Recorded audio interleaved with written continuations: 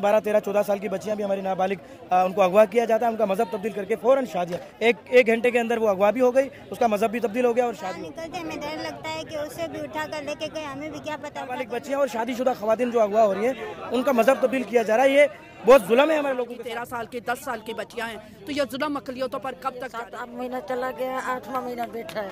आठवां महीना है। मेरी बच्ची नाम बालक है। पाकिस्तान के अंदर हिंदू लड़कियों को जो 15-16 साल की है मात्र। उनको ज़बरदस्ती किडनैप करते हैं उनके साथ गलत काम करते हैं और बाद में उनसे इस्लाम कबूल करा के मुस्लिम लड़के उनसे शादी कर लेते हैं। अभी उन हिंदुओं ने प्रोटेस्ट पाकिस्तान के अंदर शुरू कर दिया है कि हमारी जान बचाओ हमारी बेटियों की इज़्ज़त को बचाओ। चलिए क्या है पूरी कहानी सुनते हैं। ये दरावड़ कबाइल सिंध के मुख्तलिफ़ इलाकों से यहाँ कराची पहुँचे हैं। इनमें कोहली, भील, मेघवाड़ और जोगी के अलावा और भी कबाइल शामिल हैं।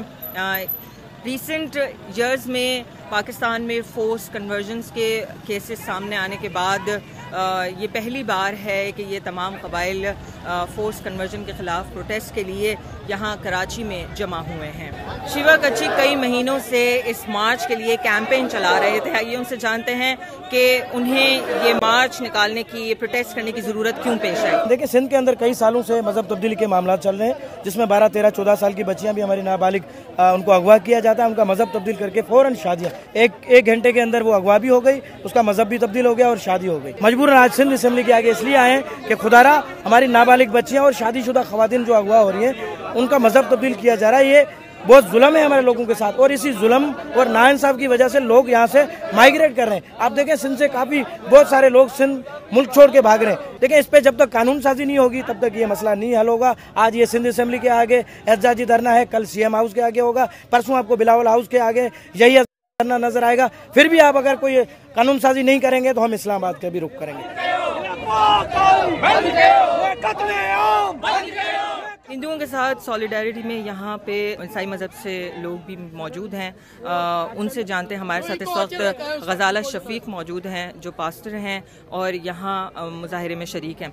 हिंदू क्रिश्चियन सिख पारसी जिस भी अकलियत से ताल्लुक रखते हैं हमारी बच्चियों के साथ यही तशद होता है। छोटी बच्ची को निकाला जाता है उसे रेप किया जाता है सबसे पहले। फिर मज़हब तब्दीली का नाम आ, किया जाता है और मज़हब को इस्तेमाल करके उसके उम्र का झूठ बुलवाया जाता है। सारी बच्चियाँ ऑसिफिकेशन टेस्ट में जो कोर्टों तक पहुँचते हैं, उसमें वो साबित हुई हैं कि वो 12 साल की 13 साल की 10 साल की बच्चियाँ हैं। तो ये जुल्म अकलियतों पर कब तक जारी रहेगा? हम इसके खिलाफ भरपूर एहतजाज करने के लिए रोड्स पर मौजूद हैं। हमें मजबूर किया गया है कि हम सीधे असम्बली के सामने आए। दरावर कबीले के इस मार्च में ऐसे ख़ानदान भी शामिल हुए हैं, जिनकी बेटियों के मज़हब को तब्दील करके उनसे शादियाँ की गई और अभी तक वो इंसाफ के मुंतज़र हैं।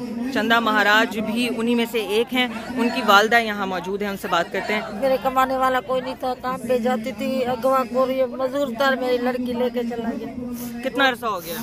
इसको ये सात आठ महीना चला गया आठवां महीना बैठा है आठवा महीना है। मेरी बच्ची नाम बालक है। हम बाहर निकलते हमें डर लगता है कि उसे भी उठा कर लेके गए हमें भी क्या पता उठा कर लेके जाए तो हमारे घर पे तो कोई कमाने वाला नहीं है। इसी सिंध असम्बली ने फोर्स कन्वर्जन के खिलाफ एक बिल मंजूर किया था, जिस पर रिलीजियस पार्टीज़ ने काफ़ी प्रोटेस्ट किया। गवर्नर ने उस बिल पर दस्तखत नहीं किया और वापस भेज दिया।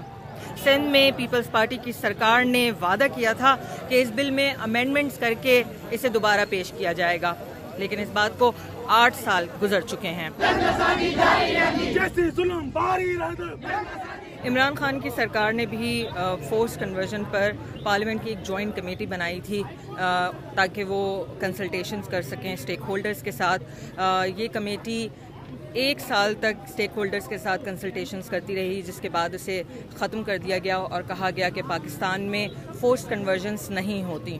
हालाँकि इंटरनेशनल और नेशनल ह्यूमन राइट्स ऑर्गेनाइजेशंस कहती रही हैं कि पाकिस्तान में फोर्स कन्वर्जन के केसेस बढ़ रहे हैं। वही पाकिस्तान है भाई जो कहता रहता है कि इंडिया के अंदर मुसलमान असुरक्षित है, मुसलमानों को हिंदू बनाया जाता है। भाई, हमें इंडिया का तो पता है, लेकिन आज पाकिस्तान का भी चेहरा खुद लोग सामने लेकर के आ गए पाकिस्तान में पंद्रह सोलह साल की हिंदू लड़कियों को जबरन किडनैप किया जाता है और उनको, उनके साथ मुस्लिम लड़के शादी करके उन्हें इस्लामिक, इस्लाम कबूल करवाते हैं मतलब कि उनको हिंदू से मुसलमान बना देते हैं।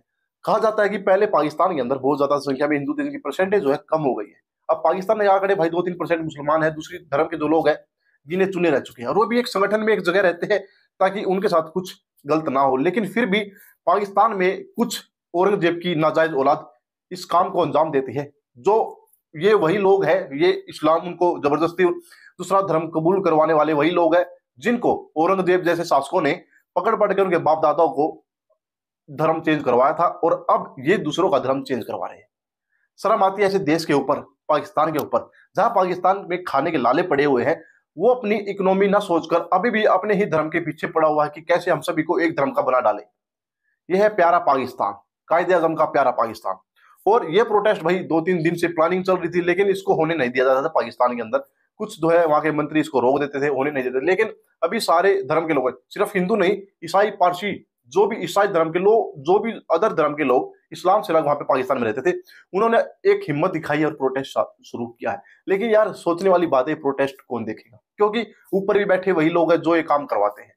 क्या कोई इंटरनेशनली इसके ऊपर कोई मुद्दा अगर कोई ध्यान देगा तो इसका कुछ हो सकता वरना भाई पाकिस्तान में ये चीज़ें सदियों से चली आ रही और आगे भी चलती रही आपका क्या मानना है? आप क्या सोचते हैं इस बारे में? भाई, हम तो बस क्या कर सकते हैं हम लोग? आप हमें कमेंट करके बताइएगा कि इन चीज़ों को हम कैसे रोक सकते हैं। जो हमारे वहाँ पे हिंदू भाई है, कोई भी कम्युनिटी के लोग वहाँ पे जो परेशान है, उन्हें ज़बरदस्ती इस्लाम कबूल करवाए जा रहे हैं, उनके लिए हम क्या कर सकते हैं? तो हमें कमेंट में अपने सजेशन ज़रूर दीजिएगा और इससे रिलेटेड और भी वीडियो हमारे चैनल पर आते रहेंगे तो आप चैनल को सब्सक्राइब और बेल आइकन को ज़रूर दबा लें ताकि हम जो भी नई वीडियो डालें, आपको अपडेट सबसे पहले मिल पाए।